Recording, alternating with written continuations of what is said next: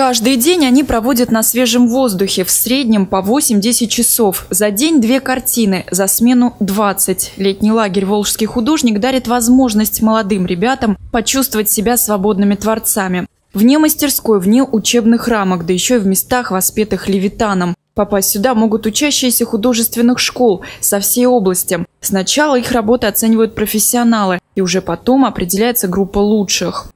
По результатам этих работ делается первая выставка. С этой выставки и начинается открытие Волжского лагеря.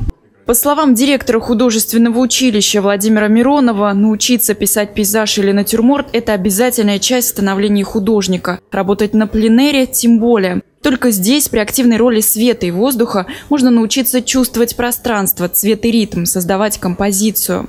Я думаю, что с натуры рисовать проще, чем кого-то там копировать, потому что у каждого ну, должна быть как бы своя рука видна на работе и усовершенствовать какую-то свою технику.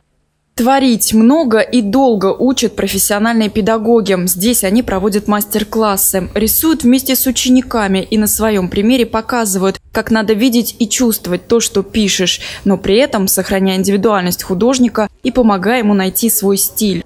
Кто-то любит детали писать, кто-то вот, например, рвется к цвету и, может быть, э, что-то по-своему видит и обобщенно. И поэтому я считаю, что у каждого есть свои особенности. Пленэр – это лучшие условия для любого пейзажиста, хотя и работать в них не всегда просто. Надо учиться экономить время, потому что на пленэре очень быстро все меняется. И в результате вот такой смены э, погоды и так далее просто сложно писать. Тем более вот последние дни вот были дожди, то солнышко, то дождь. Переводить состояние одного в другое – это очень сложно.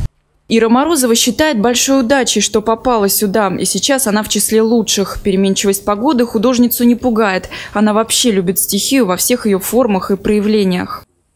Я как-то больше люблю писать воду, особенно когда на закате отражает небо, когда это все, так какая-то гармония присутствует в этом, просто что такое божественное, неповторимое.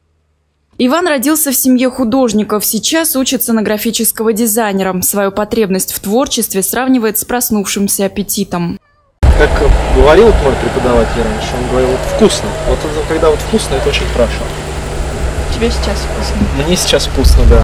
Каждую неделю в лагере проходит отсмотр картин. Ребята вместе с преподавателями обсуждают основные ошибки и недочеты, выбирают лучшие работы. Именно они будут представлены на итоговой выставке в начале августа рядом с музеем пейзажа в Плесе. Посмотреть на них приедут заслуженные художники России, профессора живописи и деятели искусства. И кто знает, чем может закончиться эта встреча для скромных, но талантливых ребят.